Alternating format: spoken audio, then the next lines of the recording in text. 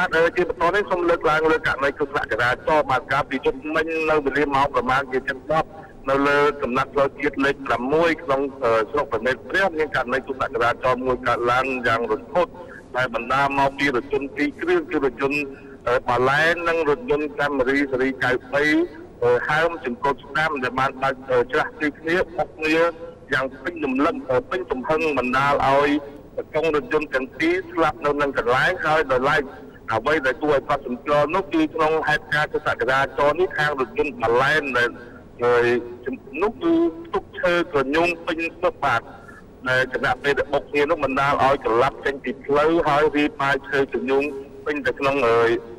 អើយទឹកដែលអមនៅសងខាងផ្លូវតែម្ដងហើយឡែករថយន្តហើមដែលជារថយន្តកាមេរីបើកក្នុងទិសដៅពីលិចទៅកើតពីប៉ោយប៉ែតទៅខេត្តសៀមរាបនោះក៏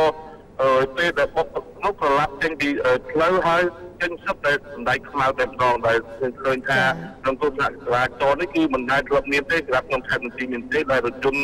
បើកច្រាស់ទីគ្នាបែរជាទៅបុកអើយអើយខាងស្ដាំរៀងរៀងខ្លួនបានន័យថារថយន្តពីរនេះហាក់បីដូចជាអើយតាមការសន្និដ្ឋានរបស់ប៉ូលីសហាក់បីដូចជាអឺគឺដាក់គ្នាឬក៏ពេលតែចិត្តដល់ហើយក្នុងគ្នាគិតរៀងខ្លួនគិតទៅរកផ្លូវ របស់ខ្លួនរៀងរៀងខ្លួនហើយបណ្ដាលឲ្យប៉ះគ្នាខាងស្ដាំនៃរថយន្តទាំងអស់តែម្ដងក្រោយកើតហេតុយើងឃើញថាសមត្ថកិច្ចបានចុះទៅដល់ក្រម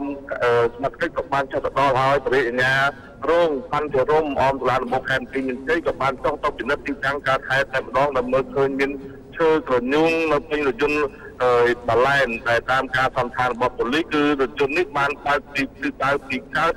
មកលិចដែល ពីពីខេត្តសៀមរាបសម្ដៅឆ្លងកាត់ខេត្តបន្ទាយមានជ័យដើម្បីនាំឈើក្រញូងទាំងនេះទៅកាន់ព្រំដែនវៀតណាមដោយឆ្លងកាត់ខេត្តបាត់ដំបងខេត្តពោធិ៍សាត់ខេត្តកំពង់ឆ្នាំងដែលឃើញថាចរាចរណ៍ឈើក្រញូងមួយរយៈនេះសម្រាប់ឆ្លងកាត់ខេត្តបន្ទាយមានជ័យហើយនៅតាមការលើកឡើងរបស់បណ្ដាញព័ត៌មានយើងដែលធ្លាប់ធ្វើការផ្សាយផ្សេងតែរៀងរាល់ថ្ងៃនោះឃើញថាឈើក្រញូងធ្វើចរាចរណ៍ទៅតាមផ្លូវជាតិលេខ5អឺ ជារៀងរាល់យប់ហើយជួបហេតុការណ៍គ្រោះថ្នាក់ចរាចរណ៍ក៏ដូចជាការបង្ក្រាបរបស់សមត្ថកិច្ចហ្នឹងក៏ជារយរយផងដែរបាទក្នុងហេតុការណ៍គ្រោះថ្នាក់ចរាចរណ៍នេះក៏បានសមត្ថកិច្ចនគរបាលស្រុកប្រលេតនេះនាំស្ទូចរថយន្តទាំងពីរគ្រឿងយកទៅរក្សាទុកនៅអធិការនគរបាលស្រុកប្រលេតតម្លៃឈើរញងដែលស្តុកនៅក្នុងរថយន្តនឹងរៀបបាយទៅលើ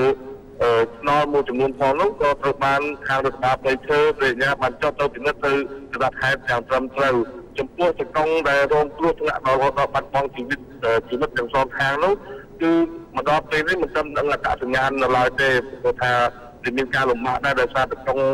តាក់ស៊ីតកងដែលដឹកឈើជំនុំភាគច្រើនគឺមកពីខេត្តឆ្ងាយហើយមិនមានអ្នកចេញមុខអាអានោះទេបាទដោយឡែកអាចដឹងឈ្មោះតកងអ្នកបើកបរដឹកសម្ដែងតែដឹកពីផ្លូវប៉ែតទៅជំរាបបាទ បាទសេចក្តីរាយការណ៍របស់ខ្ញុំពីខេត្តបន្ទាយមានជ័យសូមបញ្ចប់តែប៉ុណ្ណេះបាទ